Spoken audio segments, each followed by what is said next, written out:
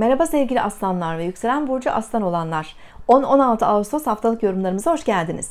Sevgili aslanlar, Güneş burcunuzda ilerlemesini sürdürüyor. Merkür de sizin burcunuzda ve bu hafta Güneş'in de etkisiyle yaşam enerjiniz, coşkunuz daha da güçlenebilir. Bu arada bu hafta doğan tüm aslan burçlarımızın doğum gününü kutluyorum. Yükselen aslanlarımızın da enerjisinin güçlendiği bir dönemdeyiz. Evet hafta başında Ay Boğa burcunda olacak. Pazartesi, Salı, Çarşamba öğleden sonraki saatlere kadar Ay Boğa burcunda ilerlerken genel olarak aslında yaşamınızda geleceğinize dair e, hedefleriniz biraz kariyer konularınız, iş sorumluluklarınız, görevler, ailevi e, alanlardaki sorumluluklar ön planda olabilir. Yaşamdaki duruşunuz, toplum önündeki statünüz, genel kariyerinizle ilgili alanlarda duygusal anlamda daha hassas olabilirsiniz. Bu e, bazı sorumlulukların öne çıkacağını, biraz hani belki yorulabileceğinizi, e, işle ilgili konularda çok fazla belki inisiyatif alabileceğinizi de gösteriyor gökyüzü. Çalışmayan aslanlarda biraz aileyle ilgili, aile büyükleri ve ebeveynlerle ilgili konulara daha fazla odaklanabilirler bu dönemde. Ay boğa burcunda maddi manevi güvenceyi önemseyecektir. Siz de geleceğinizle ilgili konularda aslında kendinizi güvende hissetmek istiyorsunuz.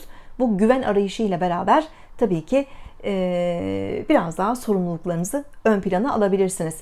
Çarşamba öğle saatlerinden itibaren Ay ikizler burcuna geçecek. Hafta ortasına itibaren biraz daha eğlenceli konulara, sosyalleşmeye, biraz daha geziler, seyahatler, kültürel etkinlikler, sosyal etkinlikler, yakın çevre ilişkileri, yani tüm bu alanlardaki enerjilerin biraz daha arttığını hissedebilirsiniz.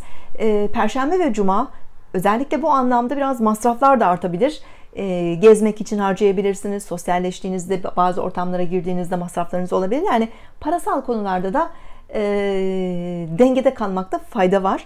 Bu hafta Koç burcunda ilerleyen Mars'ın Oğlak burcundaki Plüto ile dik açısı etkinleşecek. 13 Ağustos'ta kesinleşen bir açı ama 11-14 Ağustos arasında tabii ki etkisini hissedebileceğiz.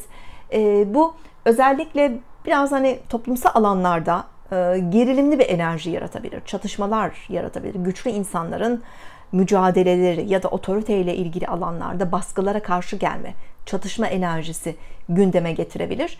E, bireysel olarak da çevremizde olup biten e, bu tarz risklere biraz dikkat etmek gerekiyor. Kazalara da dikkat etmek gerekiyor. Temkinli olmak gerekiyor. Çevremizdeki kişilerle olan ilişki dinamiklerinde de oluşabilecek ani gerilimlere karşı e, biraz daha temkinli olmakta, dikkatli olmakta fayda var. Evet hafta sonunda ay yengeç burcuna geçiyor sevgili aslanlar. Hafta sonu biraz sakin kalmak istiyoruz. Biraz dinlenmek istiyoruz. Kendi kabuğumuza çekileceğimiz bir hafta sonu aslında kendimizle ilgilenebiliriz.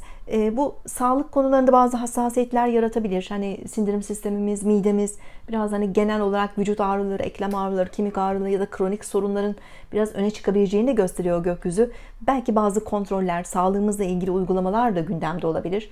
Kişisel bakımımız, estetikle ilgili uygulamalar, e, kısa da olsa bir diyet, arınma programı ki yeni ay öncesinde aslında uygun. Yani birkaç günlük bir detoks, bir arınma, bir diyet hızlı sonuçlar verebilir. Ee, bunlara odaklanabileceğiniz, biraz dinlenebileceğiniz bir e, hafta sonu. Ee, sadece yakınlarınız ve yakın çevrenizde kendinizi güvende hissettiğiniz e, kişilerle paylaşımlar yapma eğiliminde olabilirsiniz. Sağlıklı ve mutlu bir hafta dilerim. Hoşçakalın.